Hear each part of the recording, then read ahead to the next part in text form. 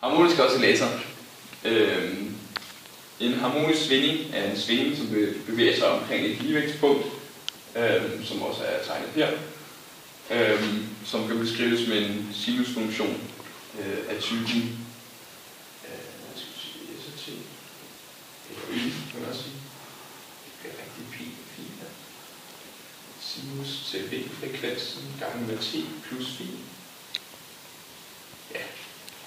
Øhm, en øh, harmonisk svingning kan for eksempelvis være et lod ophængt i en fjeder, øh, men det kan også være øh, et øh, pendul, som svinger som funktion af tiden. Øhm, og det har tid på x-aksen her, øhm, og afstand altså delta x.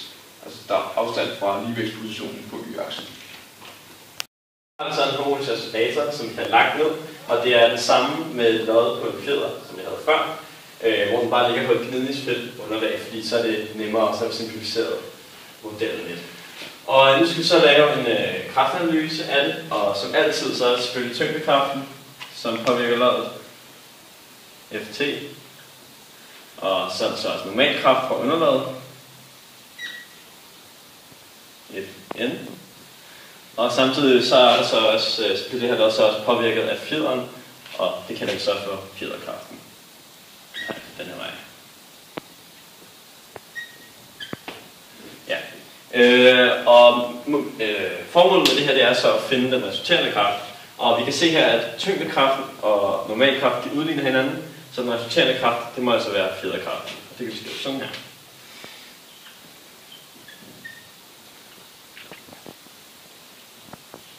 Øh, vi ved fra Newtons anden lov, at den resulterende kraft, det er lige med massen gange accelerationen, altså m gange a. Så derfor må fjederkraften være lige med det her. Sådan der. Vi har sådan et her lod, som der er sat fast en fjeder. Så kan vi beskrive, hvor langt det er trukket ud fra øh, loddets ligevægtsposition. Og det er det, vi snakker om før stødfunktionen, og det kalder vi x af t. Og der er en meget god sammenhæng mellem, hvor langt den er strukket, og den resulterende kraft, som fjederen yder, fordi desto længere trækker fjederen, desto hårdere bliver det. Det vil sige, at der er en sammenhæng mellem de her to. Men hvor hårdt det er, det afhænger af, hvilken fjeder man har. For der er en proportionalitetsfaktor, som vi kalder for fjederkonstanten. Og eftersom at fjederkraften er modsatrettet den vej, man trækker, skal vi sætte minus foran. Det her, det er så bekendt som Hooks lov, og fra tidligere der har vi vist, at fjederkraften er lige med den resulterende kraft, som ifølge Newtons anden lov er m gange a. Og dermed kan vi sætte lighedstegn mellem minus fjederkonstanten gange fjederens forstrækning. Så bekendt så er vi lige nået frem til den her ligning, og øh, accelerationen, øh, det er dobbeltdifferentieret stedfunktion. Så det skriver vi som x mærke mærke t.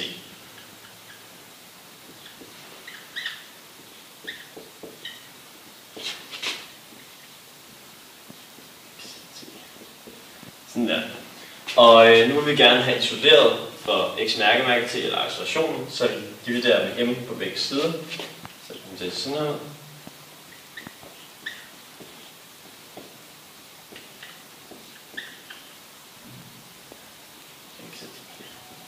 Sådan der. Og nu har vi så en øh, differentialligning, som øh, vi vil løse. Okay. okay. Øh, nu skal vi så bevise den her differentialligning, og øh, vi simplificerer det lidt ved at øh, definere en konstant øh, omega. Og det det til at være kvadratroden af k over m. Godt. Og øh, vi har fundet ud af, at løsningen til differentialligningen, det er det her. Skriv det lige op. A gange sinus til omega gange t plus phi. Og øh, vi kan bevise, at øh, det her det er løsningen ved at differentiere den to gange. Øh, så dermed så får vi x mærke mærke t. Og så skal den her ligning så have det. Øhm, og vi starter med at dividere den her. x-mærke t er lige med. Konstanten den bliver bare stående, så det vil sige a gange, når vi differentierer sinus, så bliver det til cosinus. cosinus. Og så skal vi have differentieret indmaden og sætte den uden for parentesen. Og øhm, hvis vi differentierer det, konstanten den, bliver bare, den forsvinder bare. Og når vi differentierer øhm, variablen her, så bliver det bare 1, og så kommer konstanten omega til at stå, eller til at være det differentierede indmad. Og det skal vi så sætte. Så det vil sige, at det gør vi bare på den anden side. Vi skriver bare. Men indad bliver det selvfølgelig også her. Øh, sådan der, og så gang omega herude. Og det gør vi så igen. Øh, vi differentierer så den her. X mærke af til. Og igen bliver konstanten der. Når vi differentierer cosinus, så bliver det minus sinus. Så vi skriver minus her. Sinus. Og det samme her. Inden bliver her. Der skal så plus der. Plus phi. Og igen så differentierer, eller så differentierer vi indmaden og sætter det, øh, det ud. Så hvis omega kommer igen ud, så det kommer til at blive omega igen. Godt. Hvad vi så begynder at kunne se nu, er, at øh, stedfunktionen her, x og t, den får vi igen her, som er amplituden gange sinus til omega t plus phi. Og så er vi så øh, left back med minus omega i anden. Hvis vi ser her, omega er lige kvadratroden til k over m. Når vi tager det igen, så lader vi de her gå ud med hinanden. Og så har vi omegaen lige med k over m. Det er tilfældigvis det, vi står her. Vi har stående her. Og så har vi minusen, som vi nukker derfra. Og den har vi, vi bevist, at det her er lige med vores differentialligning heroppe, som der er minus k over m gange x af t. snakket om den her fantastiske stedfunktion, øh, og der indgår en hel masse konstanter og variabler, øh, som vi skal forklare øh, betydningen af. Amplituden, det er A, vores A-værdi, den, af, øh, den afgør, hvor stor afstand der er fra ligevægtspunktet, den her, øh, til vores bakketop og bakkedale. Så vi siger, at den her afstand, det er altså vores A-værdi. Øhm, så har vi vores vinkelfrekvens, som afgør, hvor hurtigt, altså det har noget at gøre med, hvor lang en periode der er, altså hvor lang tid det tager for en øh, bølge at passere.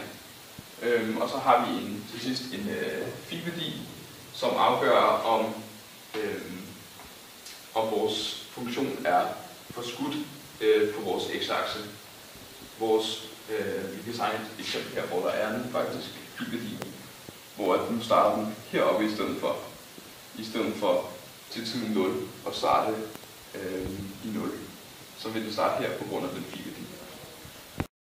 Frekvensen afgør, øh, hvor stor en periode vi har, øh, og det kan vi se på den måde, at, øh, at der er en sammenhæng mellem perioden og vindfrekvensen. Og det er så, øh, perioden er lige med 2 pi divideret med vinkelfrekvensen. Så vi kan se, at desto større vinkelfrekvens vi har, desto større vil, nej, desto kortere, sorry, øh, vil perioden være. Øh, tidligere, at den resulterende kraft er lige med fjederkraften. Øh, men hvis nu vi er i en situation, hvor vi har noget vindmodstand, en masse vindmodstand, så skal vi også lægge den til. Eller luftmodstand, eller hvad man vil kalde det. Og øhm, det her, det er, den her øh, er stadig den samme, den her kraft, men vindmodstanden, fordi den afhænger, øh, modstand, den modvirkende kraft, afhænger af dens hastighed, så har vi proportionalitetsfaktor, som det kan afhænge af, hvor mange partikler der er i luften, eller luftens densitet, gange den differentierede stødfunktion, som der er hastigheden. Øhm, som der stadig er f bas. Øh, og FAS skulle som sagt skrives som masse gange accelerationen, accelerationen, og accelerationen er jo den dobbeltdifferentierede stedfunktion. Så det skriver vi op som m er x mærke mærke af t, som der stadig er nu af det her.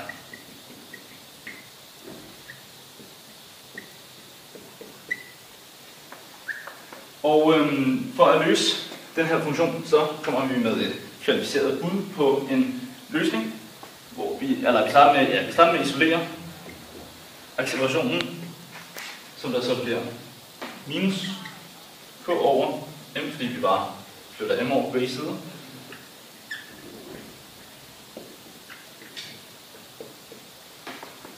Øh, og herfra så kommer vi så med et kvalificeret bud på, hvad en løsning vil være. Øhm, og til testet funktionen, som vi så senere vil prøve at bevise. Jeg er ude, hvor jeg ikke kan bunde. Løsningen til den her har vi et kvalificeret bud øhm, til stedfunktionen, som vi skriver som amplitude gange Eulers tal opløftet i minus beta over 2 gange øh, massen gange t, så gange sinus af omega t plus phi. Og her der kan vi se, at vi har den almindelige stoffunktion her. Men samtidig så har vi også her en amplitude, som der er eksponentielt faldende, her, som øh, afhænger af tiden. Fordi desto længere frem vi kommer, desto større tiden bliver, desto mere falder øh, vores amplitude. Og dermed så får vi en situation, hvor vi kommer til at få en sinuskurve